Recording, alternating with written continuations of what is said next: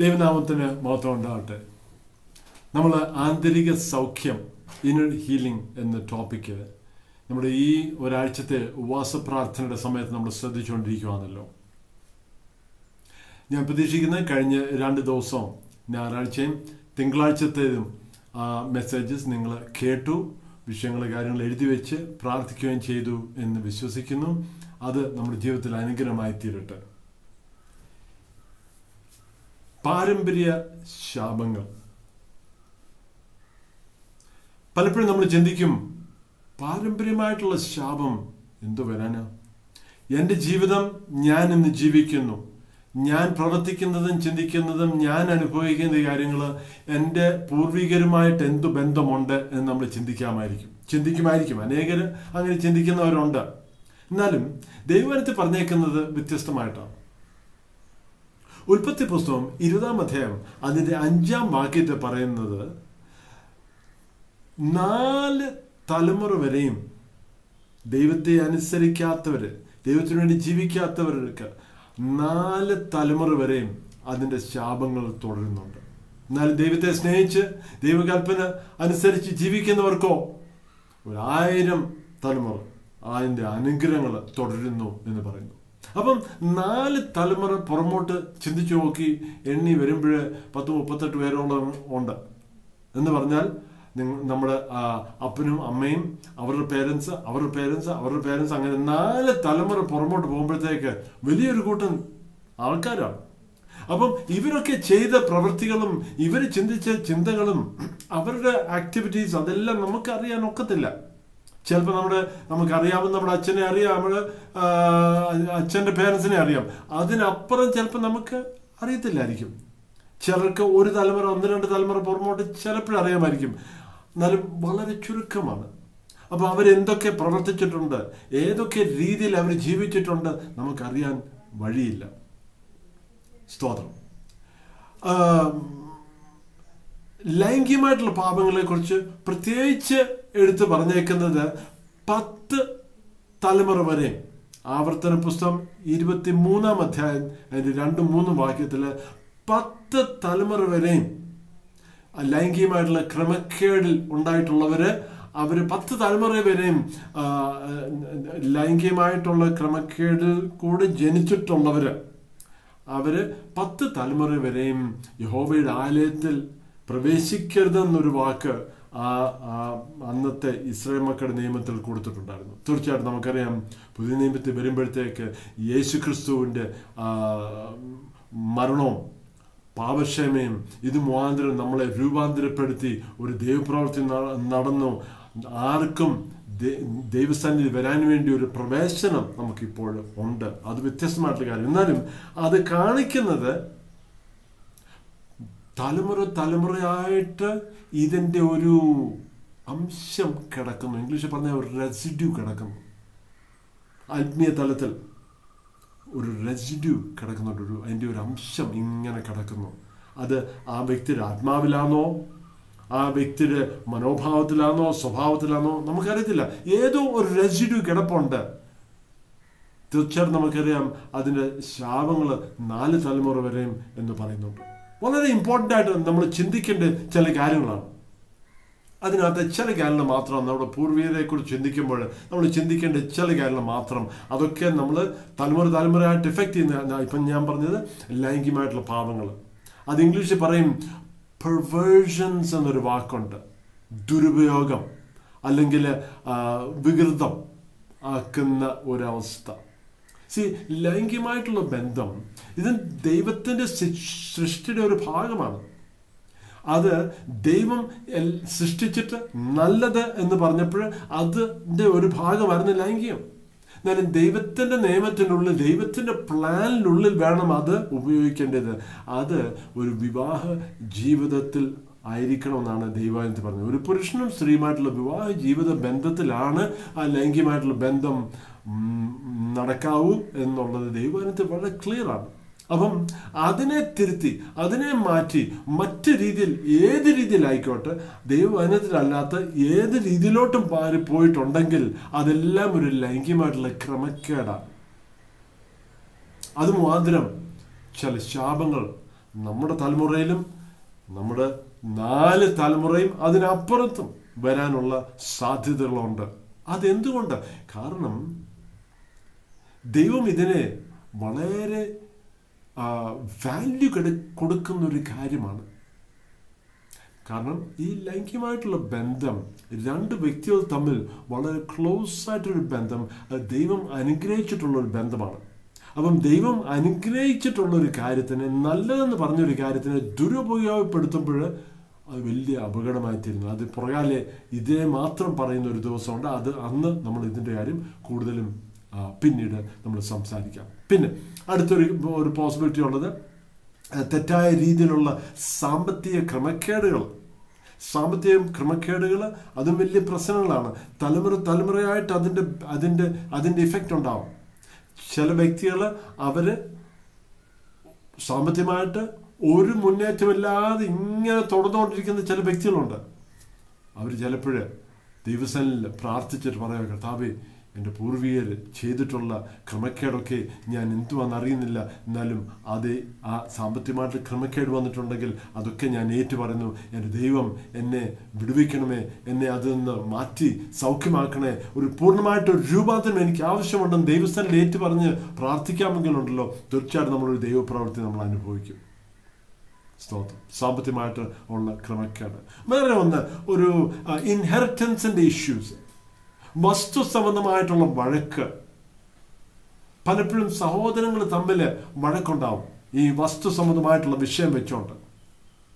വീതം വയ്ക്കുമ്പോൾ ഇത് എനിക്ക് കൂടുതൽ വേണം അല്ലെങ്കിൽ എനിക്ക് ഒത്തിരി കുറഞ്ഞു പോയി ഇങ്ങനെ വെച്ചോണ്ട് ഒത്തിരി ഒത്തിരി വിഷയങ്ങൾ ഉണ്ടായിട്ടുണ്ട്.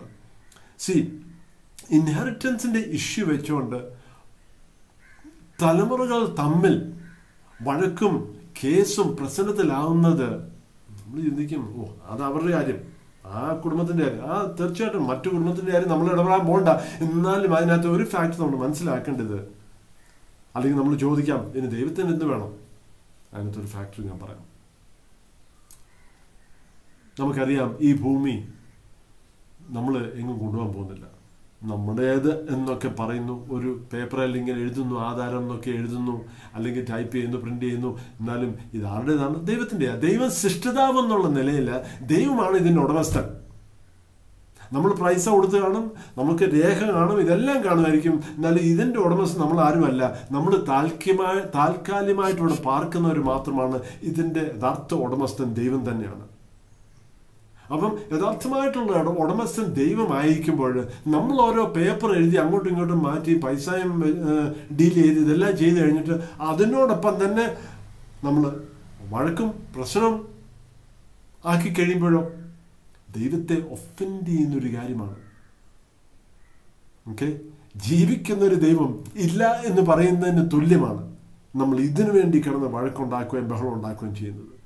കാരണം എങ്ങനെയാണെന്ന് പറഞ്ഞാലും വസ്തുവിന്റെ അളവ് ഇത്ര എങ്ങോട്ട് പോയി? ഇങ്ങോട്ട് മാറി അങ്ങോട്ട് മാറി എങ്ങനെയാന്ന് പറഞ്ഞാലും ഇത്രയ്ക്ക് ഇത്രയേ ഉള്ളൂ നമ്മുടെ ജീവിതം ഇത്രയ്ക്ക് ഇത്രയേ ഉള്ളൂ നമ്മൾ ഈ ലോകത്തിൽ ബൈബിൾ പറഞ്ഞിരിക്കുന്ന എഴുപത് ഏറെയാൽ എൺപത്. നമുക്ക് പലർക്കും അതിന് ബോണസ് കുറച്ച് കിട്ടുകയും ചെയ്യുന്നുണ്ട്. എന്നാലും നൂറിൽ കൂടുതൽ ജീവിക്കുന്നവർ വളരെ ചുരുക്കം. സി ഞാൻ പറഞ്ഞത് ഇത്രയും കാലങ്ങൾക്ക് വേണ്ടി വഴക്കും പ്രശ്നം ഉണ്ടാക്കിയിട്ട് കാര്യമില്ല. അത് ദൈവം അതിനെ വെറുക്കുന്നുണ്ട് ഇങ്ങനെയുള്ള കാര്യങ്ങൾ വേറെ ഒന്ന് ഐഡോളട്രി വിഗ്രഹാരാധന.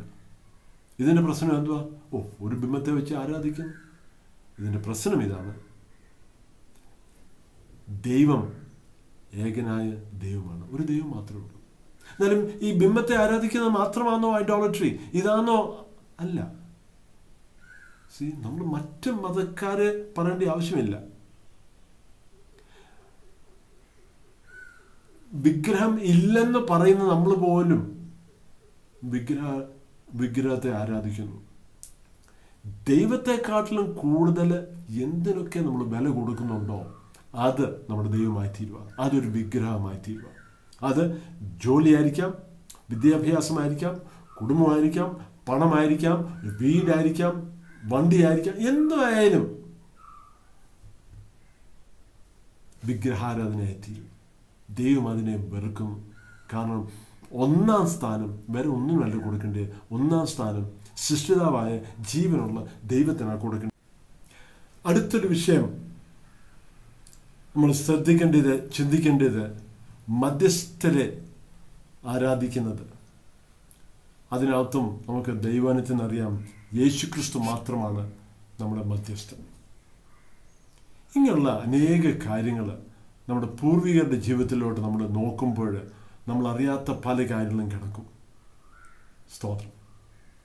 രക്തച്ചൊരിച്ചൽ നമ്മൾ പറയും ഓ എന്റെ കുടുംബക്കാർ അങ്ങനെയൊന്നുമില്ല കേട്ടോ. ഞങ്ങളൊക്കെ നല്ല ആൾക്കാരാണ് ഓക്കെ ആയിക്കോട്ടെ. എന്നാലും ചില തലമുറകൾ പുറമോട്ട് പോകുമ്പോൾ നമ്മൾ അറിയുന്നോ എന്ത് സംഭവിച്ചോ നമ്മൾ അറിയത്തില്ല. ദൈവം മാത്രം ജീവൻ തന്നിട്ടുള്ളതായതുകൊണ്ട് ദൈവം മാത്രമേ ജീവൻ എടുക്കാനുള്ള അധികാരമുള്ളൂ. അപ്പം ദൈവത്തിന്റെ അധികാരത്തെ മറികടന്ന് പ്രവർത്തിച്ച വ്യക്തികളാണ് ഈ രക്തച്ചൊരിച്ചിൽ ചെയ്യുന്നവർ. തലമുറ തലമുറയായിട്ടുള്ള രോഗങ്ങൾ പ്രത്യേകിച്ച് ഒരേ രോഗം പല തലമുറകളിലോട്ട് ഇങ്ങനെ മാറി മാറി പോകുന്നത്. ചിലർക്ക് ഹാർട്ട് പ്രോബ്ലം ആയിരിക്കാം ഡയബറ്റിക് ആയിരിക്കാം. ഇതൊക്കെ ഇന്ത്യയിൽ ഒത്തിരി നമ്മുടെ രാജ്യത്ത് ഒത്തിരി ഇഷ്ടം പോലെ ഉള്ളതാണ് അല്ലേ കാര്യമായിട്ടുണ്ട്. പിന്നെ ചില പാപങ്ങൾ പൂർവീകർ ചെയ്തിട്ടുള്ളത് നമ്മളും തുടരുന്നു. തലമുറ തലമുറയായിട്ടുള്ള ചില പാപങ്ങളും ആ പാപത്തിന്റെ ടെൻഡൻസീസും ഇതിന്റെ എല്ലാത്തിന്റെ ഇഫക്റ്റ് ഓരോ തലമുറയിലുണ്ട്. അടുത്തത് ചില നമ്മളോട് അടുത്ത് ഉള്ള വ്യക്തികൾ മരിക്കുമ്പോൾ അവരുടെ മരണം കഴിയുമ്പോഴത്തേക്ക് നമ്മളിൽ ചില വ്യത്യാസങ്ങൾ അല്ലെങ്കിൽ നമ്മൾ ചില വ്യക്തികളെ കാണാം അവരുടെ സ്വഭാവത്തിനൊരു വ്യത്യാസം അല്ലെങ്കിൽ അവരുടെ ശാരീരികമായിട്ടുള്ള അവസ്ഥയിലൊരു വ്യത്യാസം അല്ലെങ്കിൽ അവരുടെ മാനസികമായിട്ട് പല രീതിയിലും ഒരു വ്യത്യാസം കാണും. ചില വ്യക്തികൾ മരിക്കുമ്പോഴായിരിക്കും അവരിലുള്ള ചില ദുരാത്മാക്കൾ അടുത്ത തലമുറയിലോട്ട് പ്രവേശിക്കാനൊരു അവസരമുണ്ടാകുന്നു ഇങ്ങനെ ഇങ്ങനെ പല കാര്യങ്ങളും നമ്മൾ നമ്മളത് ചെറിയതാണെന്ന് ചിന്തിച്ച് അതങ്ങ് വിട്ട് കളയുന്നത് നമ്മൾ ഓർക്കേണ്ടതാണ്. പല വിഷയങ്ങളും പൂർവികരിൽ നിന്ന് വരുന്നത് നമ്മൾ മാറ്റിവെക്കരുത്. അത് കാര്യമായിട്ടെടുത്ത് പ്രാർത്ഥിച്ച് ദൈവികാരനെ സമർപ്പിക്കുക. ഞാനിപ്പോൾ പറഞ്ഞ ഓരോ ടോപ്പിക്സ്. ദയവായിട്ട് നിങ്ങൾ ഈ വീഡിയോ വേണമെങ്കിൽ ഒന്നുകൂടെ ഒന്ന് സ്റ്റാർട്ട് ചെയ്ത് കേട്ട് നോക്കിയിട്ട് ഒരു ലിസ്റ്റ് ഉണ്ടാക്കിയാൽ നല്ലതാണ്. ഈ കാര്യങ്ങൾ ഒരു ലിസ്റ്റ് ഉണ്ടാക്കിയിട്ട് ദൈവസന്നിധി ഒന്ന് പ്രാർത്ഥിക്കുക. ദൈവമേ രക്തച്ചൊരിച്ചൽ എന്റെ പൂർവികർ ഏതൊക്കെ കാര്യത്തിൽ അത് ചെയ്തിട്ടുണ്ട് എന്ന് ഞാൻ അറിയുന്നില്ല. എന്നാലും അതൊക്കെയും ഈ തലമുറയിൽ ഞാൻ എണ്ണീച്ചെന്ന് ഏറ്റുപറഞ്ഞ് ഞാൻ പ്രാർത്ഥിക്കുന്നു. കർത്താവെ അവർക്കായിട്ട് ഞാൻ ഈ തലമുറയിൽ ക്ഷമ ചോദിക്കുന്നു. ഒരു ദൈവപ്രവൃത്തി ഉണ്ടായിരിക്കണമേ. എന്നെ അതിൽ നിന്ന് വിടുവെച്ച് അതിന്റെ അകൃത്യം അതിന്റെ ഇഫക്റ്റ് ഈ തലമുറയിലോട്ട് വരുന്നത് അതിന്റെ ഇനിക്വിറ്റീസ് എല്ലാം ഞാൻ ഏറ്റുപറഞ്ഞ് പ്രാർത്ഥിക്കുന്ന കർത്താവെ. അതെല്ലാം അതിന്റെ ഇഫക്റ്റ് എന്റെ എന്റെ ഈ തലമുറയിൽ നിന്നും അത് വരാനുള്ള തലമുറയിൽ നിന്നും കംപ്ലീറ്റ് ആയിട്ട് വിട്ടു മാറട്ടെ എന്ന് പറയുക. അതേപോലെ ഓരോ വിഷയങ്ങൾ എടുത്തു പറഞ്ഞിട്ട് പറയുക ദൈവമേ ഞാൻ അറിയുന്നില്ല. ഏതൊക്കെ കാര്യങ്ങൾ നടന്നിട്ടുണ്ട്. എന്നാലും അവരിൽ നടന്നിട്ടുള്ള ഇങ്ങനെയുള്ള കാര്യങ്ങളൊക്കെയും ഞാൻ ഈ തലമുറയിൽ എഴുന്നേറ്റ് നിന്ന് ഏറ്റുപറഞ്ഞ് അവർക്ക് വേണ്ടി ഞാനിപ്പോൾ ക്ഷമ ചോദിക്കുന്നു അത് മുഖാന്തരം അവരുടെ പ്രവൃത്തി മുഖാന്തരം അവരുടെ ക്രമക്കേട് മുഖാന്തരം അവരുടെ പാപങ്ങൾ മുഖാന്തരം എന്നിലോട്ട് വന്നിട്ടുള്ള ദൈവികമല്ലാത്ത എല്ലാ പ്രവൃത്തികളും രോഗങ്ങളും മനോഭാവങ്ങളും അല്ലെങ്കിൽ പൈശാചികമായിട്ടുള്ള ബന്ധനങ്ങളും അതെല്ലാം യേശുവിന്റെ നാമത്തിലാണ് കട്ട് ചെയ്ത് മാറ്റി പ്രാർത്ഥിക്കുക. യേശുവിന്റെ നാമത്തിൽ യേശുവിന്റെ രക്തത്താൽ ഇതിന്റെ മേലൊക്കെ അധികാരം എടുത്ത് പ്രാർത്ഥിക്കാമെങ്കിൽ തീർച്ചയായിട്ടും നമ്മുടെ ജീവിതത്തിൽ ഒരു ദൈവപ്രവൃത്തി ഉണ്ടാവും. പാരമ്പര്യ ശാപങ്ങൾ. ചെറുതായിട്ട് എടുക്കല്ലേ അതിന് വാല്യൂ കൊടുത്ത് വളരെ കെയർഫുള്ളായിട്ട് പ്രാർത്ഥിക്കുക. നമ്മൾ അറിയുന്നില്ല പല രോഗങ്ങളും പല വിഷയങ്ങളും തലമുറ തലമുറയായിട്ട് നിൽക്കുന്നത് ഈ തലമുറയിൽ അത് അവ- അവസാനിപ്പിച്ചിട്ട് അടുത്ത തലമുറയിലോട്ട് ഇതൊന്നും തുടരാതെ സൂക്ഷിക്കാൻ നമ്മളെ തന്നെ ദൈവികളിൽ സമർപ്പിക്കാം. ദൈവം എല്ലാവരും അനുഗ്രഹിക്കട്ടെ. ഞാനൊരു വാക്ക് പ്രാർത്ഥിക്കാം. പിതാവെ എന്നെ കേൾക്കുന്ന ഓരോ വ്യക്തികളെയും ഞാൻ അനുഗ്രഹിച്ച് പ്രാർത്ഥിക്കുന്നു. പാരമ്പര്യമായിട്ടുള്ള ശാപങ്ങൾ എന്തൊക്കെ വന്നിട്ടുണ്ടെന്ന് ഞങ്ങൾ അറിയുന്നില്ല. എന്നാലും ഒരു ദൈവപ്രവർത്തി ഉണ്ടായിരിക്കട്ടെ. ഞങ്ങളിതൊക്കെയും ഇന്നത്തെ ദിവസം തന്നെ ഏറ്റു പറഞ്ഞ് പ്രാർത്ഥിക്കുമ്പോൾ ഒരു ദൈവപ്രവൃത്തി ഉണ്ടായിരിക്കട്ടെ. സ്തോത്രം. ഒരു വലിയൊരു വിടുതൽ നടക്കണമെന്ന് ഞങ്ങൾ പ്രാർത്ഥിക്കുന്ന കർത്താവേ സ്തോത്രം. അവരുടെ പാപങ്ങൾ മുഖാന്തരം പൂർവികരുടെ പാപം മുഖാന്തരം ഞങ്ങളുടെ മേൽ വന്നിട്ടുള്ള ഓരോ കാര്യങ്ങളും കർത്താവ് കംപ്ലീറ്റ് ആയിട്ട് മുറിച്ച് മാറ്റി സ്വതന്ത്രരായിട്ട് ജീവിക്കാൻ ഞങ്ങളെ സഹായിക്കണമെന്ന് പ്രാർത്ഥിക്കുന്നു. സ്തോത്രം കർത്താവേ. പ്രാർത്ഥന കേട്ടതിനായിട്ട് സ്തോത്രം. യേശുവിന്റെ നാമത്തിൽ തന്നെ. ആമേ സ്തോത്രം. ദൈവം അനുഗ്രഹിക്കട്ടെ. താങ്ക്